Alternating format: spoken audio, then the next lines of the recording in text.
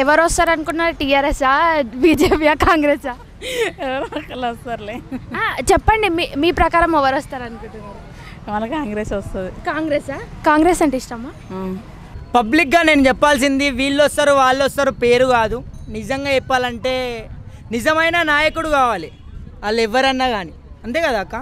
ప్రజలకి సేవ చేసే నాయకుడు కావాలి ప్రజలలో ఉన్న మనిషి కావాలి. వాళ్ళు ఎవరన్నా కానీ ఒక సీఎం గెలవాలంటే ఎంతోమంది ఎమ్మెల్యేలకి పరీక్ష చేయాలి. ఎట్లున్నారు? నా వాళ్ళు కరెక్ట్ ఉన్నారా? ఆ ఊర్లోకి ఏమేమి చేస్తున్నారు అని ఎమ్మెల్యేలని క్లారిఫై తీసుకొని ఆ ఊరికి ఎమ్మెల్యేలు కూడా సర్పంచుల దగ్గరికి వెళ్ళి నీతి ఎవరి దగ్గర ఉంది నిజాయితీ ఎవరి దగ్గర ఉంది ఆ పార్టీ ఈ పార్టీ కాకుండా ప్రజల చైతన్యం ఎట్లుంది ప్రజలకి జరగాల్సిన న్యాయం ఏది ఉంది ఇవన్నిటి గురించి మాట్లాడి నీతి నిజాయితీగా వేసి అట్లాంటి రాజకీయ నాయకుడు అంటే నాకు మస్తు ఇష్టం అక్క. వాళ్ళ పేర్లు నేను ఒకరి పేర్లు అవి ఇవి నాకైతే ఐ డోంట్ నో కానీ ఇంకొక మాట చెప్పాలంటే ఒక మంచి పాట చెప్తావు కూడా అక్క.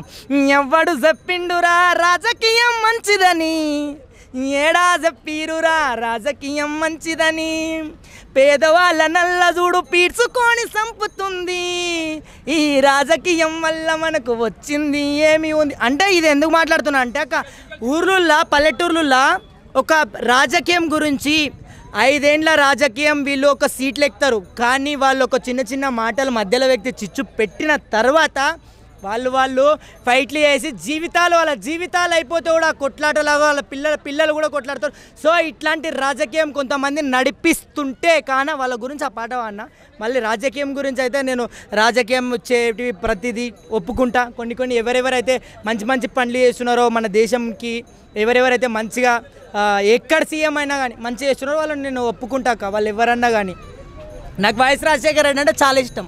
అంటే ఇప్పుడు నువ్వు వైసీపీకి సపోర్ట్ చేస్తున్నట్ట? రాజశేఖర రెడ్డి అంటే ఇష్టం అన్న వైసీపీ గురించి కాదు. వైఎస్ రాజశేఖర రెడ్డి ఎందుకు ఇష్టం అంటే ప్రజల చైతన్యం ప్రజలకి ఏం కావాలి? ప్రజలకి డబ్బు ఇచ్చడం కంటే ప్రజలకి పథకాలు ఇచ్చడం మేలు. ప్రజలకు ఎట్లాంటి పథకాలు ఇవ్వాలి ఆరోగ్యశ్రీ అట్లాంటి గొప్ప గొప్ప పథకాలు ఇచ్చినాడు కాబట్టి నాకు ఇష్టం. నాకు ఇష్టం అని చెప్పి ఆయన గురించి ఏడనైనా మాట్లాడతా. ఎందుకంటే ఆయన అంటే నాకు చాలా అభిమానం. ఈ రోజు కూడా నేను సిక్స్త్ క్లాస్ చదువుతున్నప్పుడు వైఎస్ రాజశేఖర రెడ్డి హెలికాప్టర్లో అప్పుడు నాకు తెలియదు కానీ ఆయన అంటే నాకు చాలా చాలా చాలా ఇష్టం. ఎందుకంటే ఆయన చేసే మంచి పనులు అట్లాంటి రాజకీయ నాయకులు కావాలని అంటున్నా. వీళ్ళు వాళ్ళు అని కాదక్క. అంటే ఇప్పుడు తెలంగాణలో అట్లాంటి రాజకీయ నాయకులు లేడంటావా? తెలంగాణలో కూడా కొన్ని పథకాలు వస్తున్నాయి. అంటే ఇంకా ఇంకా జాబ్స్ కానీ ఇంకా కావాలి ఇంకా కావాలి ప్రజలకి. ప్రజలకి మంచి మంచివి కావాలి మంచి మంచి విషయాలు కావాలని చెప్పి చోటుభయ్య నమస్తే. ఆ, అట్లానే అక్క. సో శిరీష్ అక్క నామినేట్ చేసింది కదా యూత్ సో అట్లాంటి యూత్ వస్తే నీకు ఎలాంటి బెనిఫిట్స్ ఏమైనా ఉంటాయి అనుకుంటున్నాం నిజంగా చెప్తున్నా సిరిసక్కకు పోయి నీ లెక్కనే ఉంటుంది అక్క మనిషి. ఎందుకంటే ఆమె ప్రజలలో చైతన్యం తీసుకురావడానికి ఆమె పోరాటం చేస్తుంది. డబ్బు లేదు వెనక పలుకుబడి లేదు బల్గం లేదు ఏం లేదు ఇస్ నామినేషన్ ఇండిపెండెంట్గా వేసింది. అట్లాంటి వాళ్ళ గురించి అడగక వంద మాటలు కాకపోతే వెయ్యి మాటలు చెప్తే ఆమె గెలవాలని చెప్పి ఆమె ఒక సోషల్ మీడియాలో చిన్న సోషల్ యూట్యూబర్. సో ఈరోజు నామినేషన్ వేసిందంటే నిజంగా అంటే నేనైతే హ్యాపీగా ఫీల్ అవుతున్నా. ఒక ఒక తెలంగాణ కొల్లాపూర్ నియోజకవర్గంలో ఆమె నామినేషన్ వేయడం అంటే గ్రేట్ సెన్సేషనల్ ఒకవేళ విన్ను గెలిచిందంటే కూడా ఆమె ఆమె గురించి ఏడ మాట్లాడిన సపోర్ట్గా ఏడనైనా మాట్లాడతా ఆమె గురించి. అట్లాంటి యువతని యువత మేల్కో అట్లాంటి వాళ్ళకి వేటి ఓటేసి గెలిపించుకో అని చెప్తా. బరాబర్. ఆ చుట్టుపక్కల ఎవరైనా ఉంటే కూడా కొల్లాపూర్ నియోజకవర్గంలో ఆమెకు ఓటేయాలి ఆమెను గెలిపించాలి. ఒక ఒక నార్మల్ పర్సన్ ఒక పెద్ద తోపుని కొడితే ఎట్లుంటుందో అట్లుంటుంది ఆమె గెలిస్తే మళ్ళీ. ఆమె గురించి అయితే ఎన్ని ఎన్ని చెప్పినా ఆమె మెంటాలిటీ కానీ ఆమె జెన్యున్గా మాట్లాడుతుంది. మీడియాలో పోతే కూడా అసలు ఆమె యూట్యూబర్ లెక్కనే హాయ్ గాయ్ ఏదో ఆమె ఆమె వేవ్ ఆఫ్ టాక్లో చాలా చాలా బాగా బాగా అనిపిస్తుంది బర్రెలక్క గురించి. నిజంగా అంటే మంచిగా అనిపిస్తుంది. ఆమె ఒక చిన్న యూట్యూబర్ అది కాక అన్ని అన్ని బ్యాలెన్స్ చేసుకొని అన్ని విలువలు తెలిసిన ఒక వ్యక్తి అని నాకైతే అనిపిస్తుంది ఆమెను చూస్తే అయితే.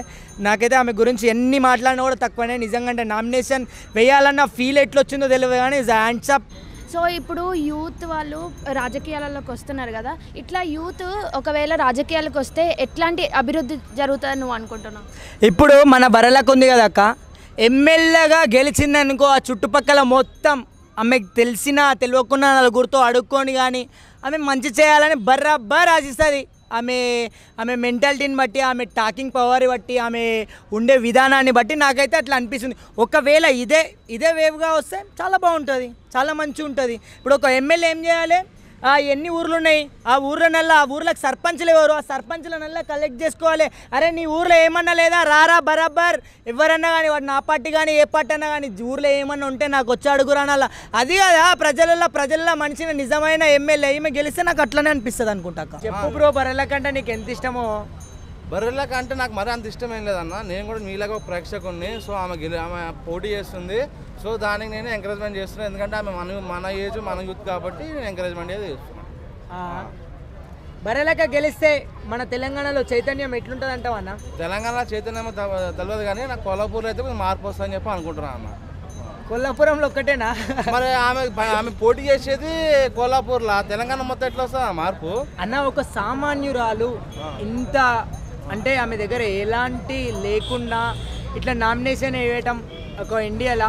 నీకు ఎట్లా అనిపిస్తుంది అన్న నీ feeling what is your feeling నాకు చాలా ఇట్స్ ప్రౌడ్ ఫీలింగ్ అన్న. నేను నిజంగా చాలా ప్రౌడ్గా ఫీల్ అవుతున్నాను అనమాట సో మనం ఇలాంటివన్నీ మనం సినిమాల్లో చూస్తాము. సో రియాలిటీగా ఏదైనా చూసినామంటే ఆ, కోల్హాపూర్ ఆమె బర్రెలక ఇప్పుడు బర్రెలక గెలవాల? ప్రజల్లో చైతన్యం తీసుకొని రావాలని చెప్పి ఎమ్మెల్యేగా నామినేషన్ వేసిందంటారా ఆ? అవునవును ప్రజల్లో చైతన్యం రావాలి అందరూ ఎంకరేజ్మెంట్ రావాలి. యూత్లో అందరూ కూడా చదువునామా జాబ్ ఎక్కినామా అన్నది కాకుండా రాజకీయాల్లో మనకు కూడా ఛాన్సెస్ ఉన్నాయని చెప్పి ఆమె డైరెక్ట్గా సవాల్ ఇచ్చింది.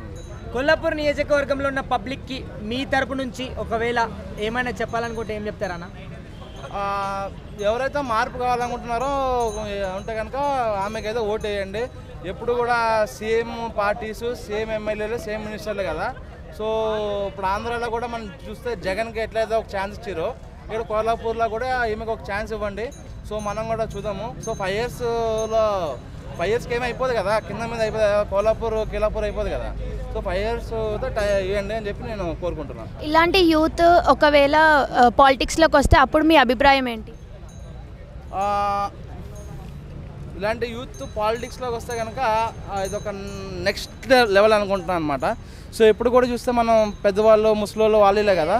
సో ఒక కొత్తదనం కోరుకోవచ్చు అని చెప్పి అనుకుంటున్నాను.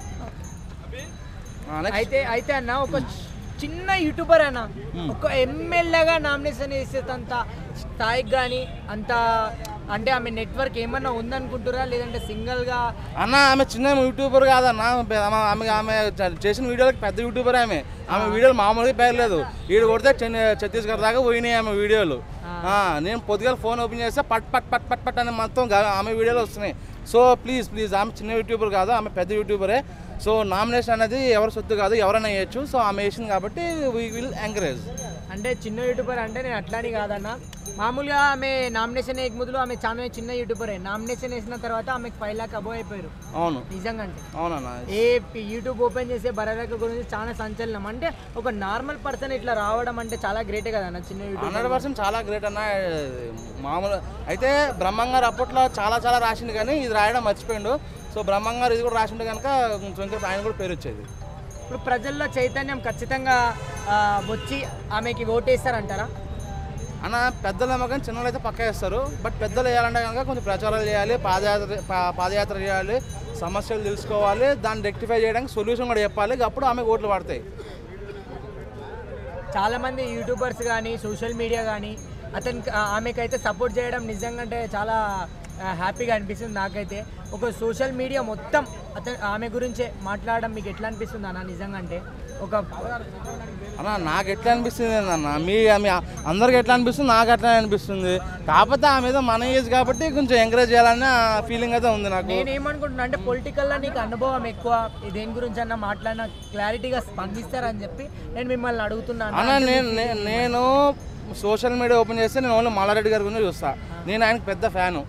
మల్లారెడ్డి గారి తర్వాత ఇప్పుడు ఈమె ఈమెను చూస్తాను అనమాట సో మల్లారెడ్డి అంటే మొన్న ఒకటి గుర్తుకొచ్చిందన్న. సోషల్ మీడియాలో అల్తలు చేస్తున్నా మల్లారెడ్డి అని కొట్టు మన మన మన నా వాళ్ళు ఫ్యాన్స్ ఉన్నారు కాబట్టి ఆయన అంత సోషల్ మీడియా యాంకర్ క్వశ్చన్ విన్నావా అన్న? అన్న యాంకర్ కోసం ఏమో తెలియదు. నేను వారం వన్ సైడ్ నేను యాంకర్ చూడ నేను? ఓన్లీ మల్లారెడ్డి గారినే చూస్తాను నేను ఆయనకు బడా ఫ్యాన్ నేను ఓకేనా? సో? కాకపోతే ఈ రాజకీయాల్లో ఈ పాలమ్మిన వాళ్ళు చక్రం తిప్పారు. సీఎం కూడా పాలమ్మింది కాబట్టి ఛాన్సెస్ అయితే. మల్లారెడ్డి ఎమ్మెల్యే మినిస్టర్ అయినప్పుడు ఒక చిన్న యూట్యూబర్ కూడా ఎమ్మెల్యే ఎమ్మెల్యే అవుతుంది అని చెప్పి నీ నమ్మకంతో మల్లారెడ్డిని ఇంప్రెషన్ తీస్తున్నావా అన్న? నేను సెంటిమెంట్ అన్న సెంటిమెంట్ వర్కౌట్ అవుతుంది. ఎందుకంటే మిల్క్ తెలుసుగా పాలు. పాలు అమ్మిన వాళ్ళందరూ రాజకీయాల్లో చక్రాలు తిప్పారు. సో ఈమె కూడా మిల్క్ పాలు అమ్ముతుంది. So maybe sentiment work out అయితే అవ్వచ్చేమో